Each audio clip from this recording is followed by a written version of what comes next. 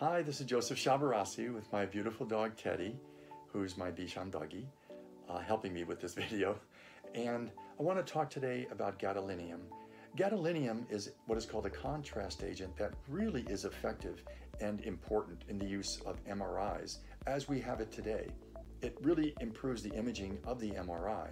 But the problem is gadolinium, contrary to what some uh, sources may be saying, is not completely removed shortly after its infusion. It does not. And we know this factually because I've been treating patients uh, for removal of gadolinium for many years with very accurate measurement of its levels in the urine when it's bound to calcium EDTA.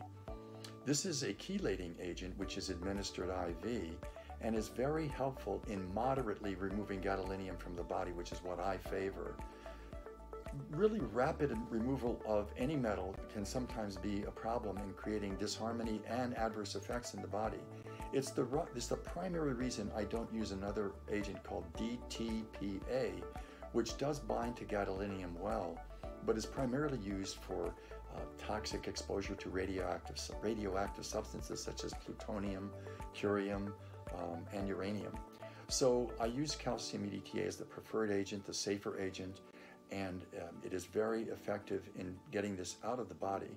For those who believe that they're having symptoms since their MRI, this may be especially important, but it's important not to forget the possible underlying conditions that might be being revealed by the gadolinium, which is perhaps the, the uh, straw that uh, triggered the symptoms in, uh, in, the, in the first place.